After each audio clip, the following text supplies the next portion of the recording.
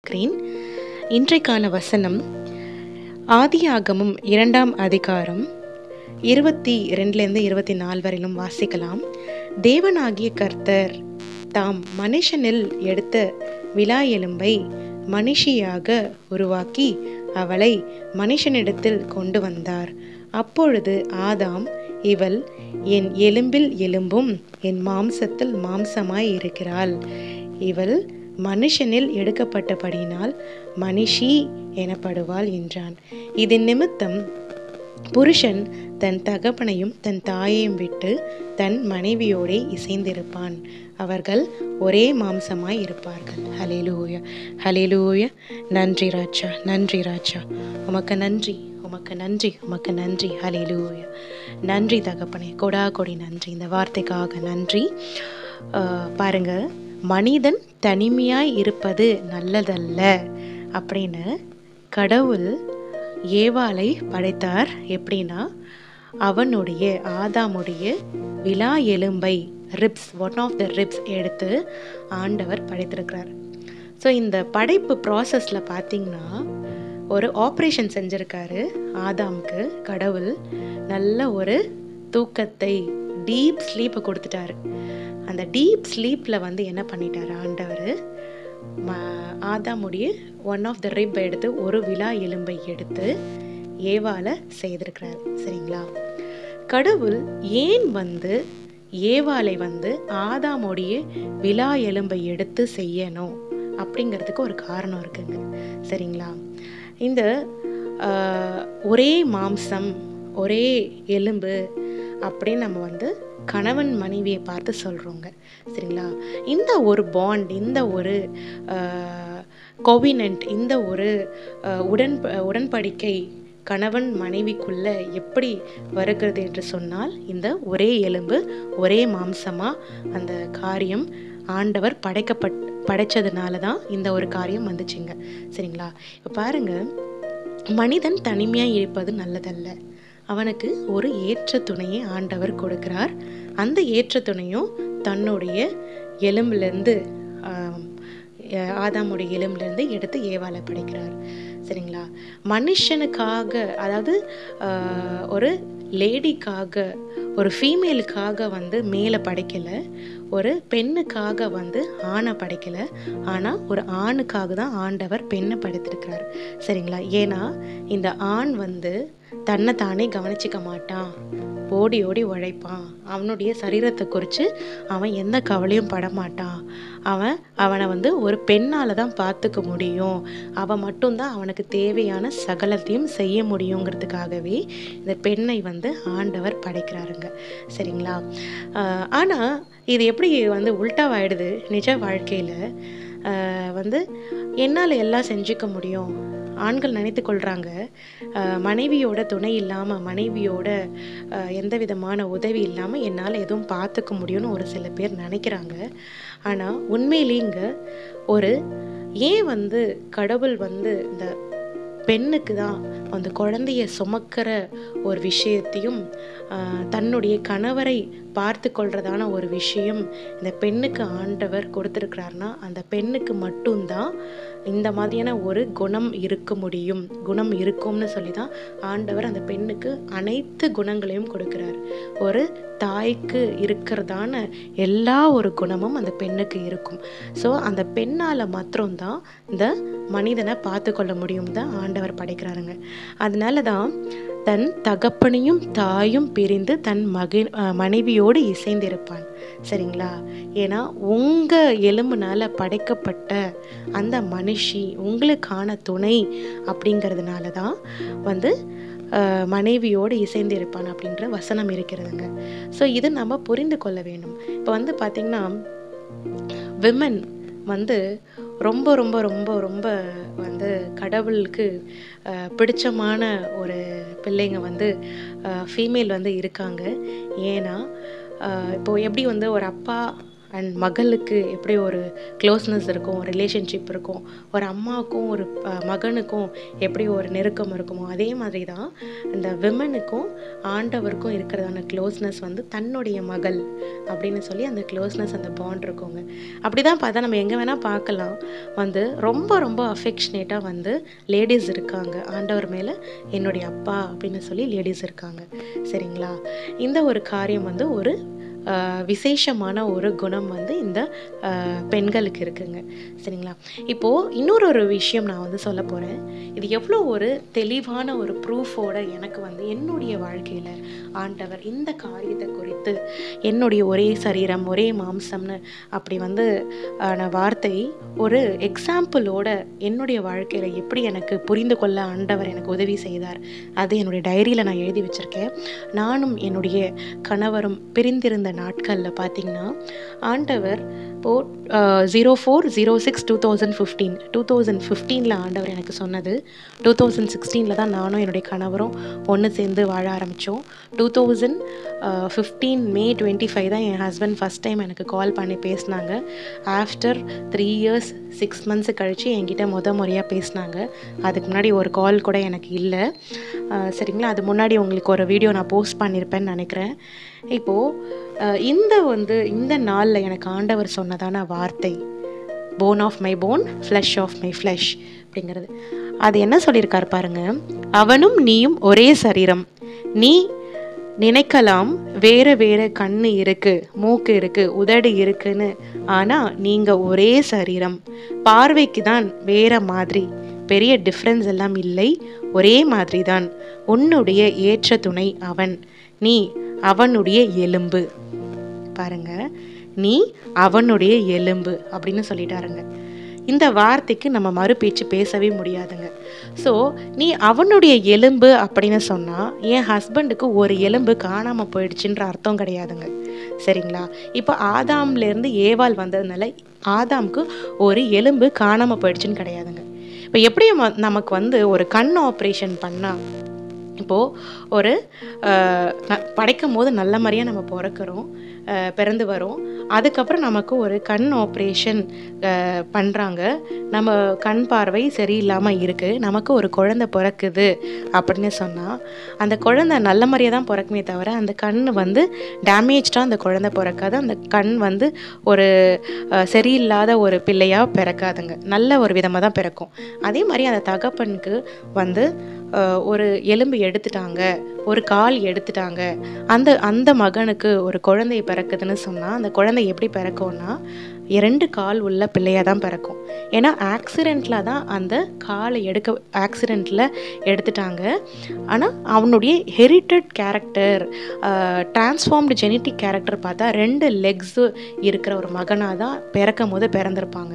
So அதனால் வந்து இந்த ஒரு விஷயம் வந்து நீங்கள் ஜஸ்ட் அதை கம்பேர் பண்ணி பாருங்கள் ஆதாமுக்கு விழா எலும்பை எடுத்து ஏவாலை படைச்சதுனால ஏவாளுக்கும் எக்ஸ்ட்ரா ஒரு எலும்பு இருக்கும்னு நம்ம சொல்ல முடியாது. அதே மாதிரி ஆதாமுக்கு ஒரு எலும்பு குறையுதுன்னு நம்ம சொல்ல முடியாதுங்க. சரிங்களா? இது வந்து எக்ஸ்ரே கூட எடுத்து பாருங்கள் எக்ஸ்ட்ரா ஒரு லெக் எலும்புலாம் இருக்காதுங்க. சேம் எவ்வளோ நம்பர் ஆஃப் ரிப்ஸ் இருக்குமோ அவ்வளோ ரிப்ஸ் மட்டும்தான் இருக்குங்க. இது ஒரு விஷயங்க. இப்போது இந்த மாதிரியான ஒரு இது வந்து நம்மளுடைய படைப்பிலே இருக்குங்க. எனக்கு இன்னொரு ஒரு காரியம் சொல்லியிருக்காரு பாருங்க. மாம்சத்தை குறித்து சொல்லியிருப்பாரு. மாம்சத்தை பற்றி உனக்கு சொல்கிறேன் இப்போ. அவனும் நீயும் ஒரே மாம்சம்.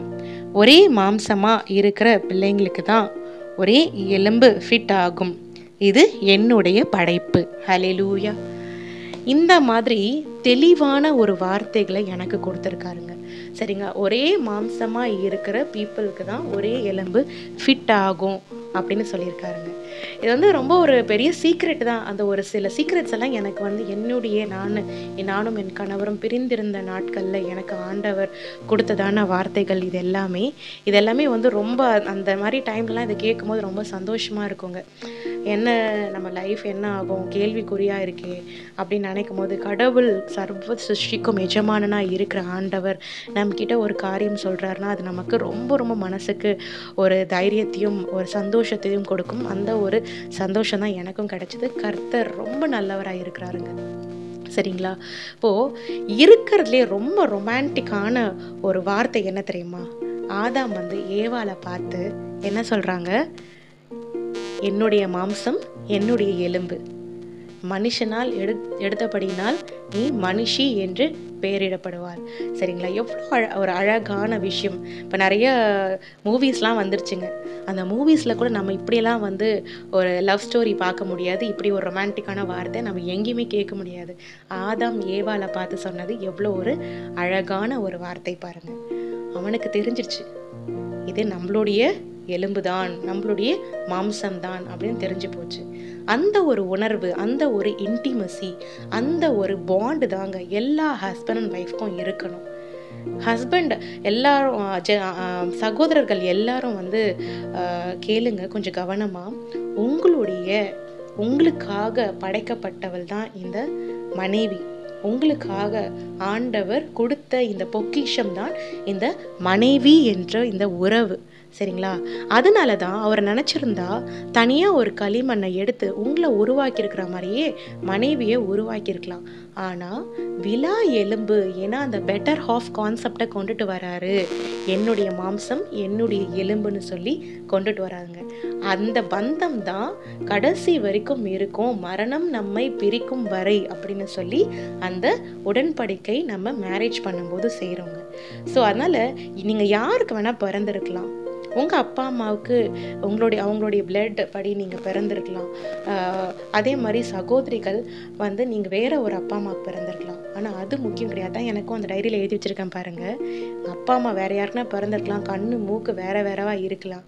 ஆனால் நீங்களும் உங்களுடைய வீட்டுக்காரரும் ஒரே சரீரம் ஒரே எலும்பு அப்படின்னு சொல்லி சொல்கிறாருங்க ஸோ அதனால் பெண்கள் உங்களுடைய ஹஸ்பண்டை நேசிங்க. சரிங்களா? அவங்களுடைய ஹாஃப் தான் நீங்கள் அவங்களுடைய ஹாஃப் தான் நீங்கள் நீங்கள் வேற அவங்க வேற கிடையாது. உங்களுடைய ஹஸ்பண்டை நேசிங்க. என்ன தான் பிரச்சனை வந்தாலும் உங்கள் ஹஸ்பண்டு கூட சேர்ந்து வாழுங்க. சரிங்களா? பல போராட்டம் வரதான் செய்யும். பிரிஞ்சே போறீங்கன்னா கூட சேர்ந்து திருப்பி வாழுங்க. விட்டு கொடுக்கறதுனால ஒரு பிரச்சனையும் வந்துட போகுது போகிறது இல்லைங்க.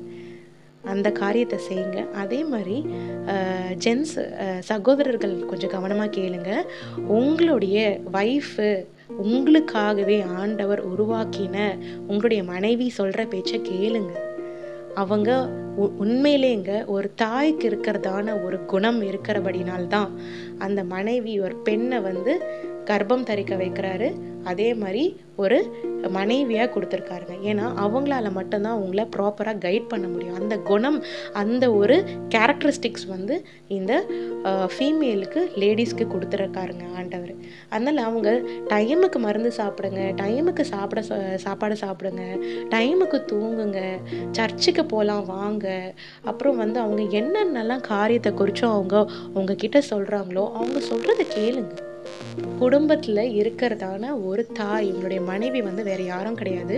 ஒரு இன்னொரு ஒரு தாய் மாதிரி தான் அந்த தாய் சொல்கிறத நீங்கள் கேட்டு நடக்கும்போது கர்த்தர் உங்கள் மேலே பிரியமாக இருப்பார்.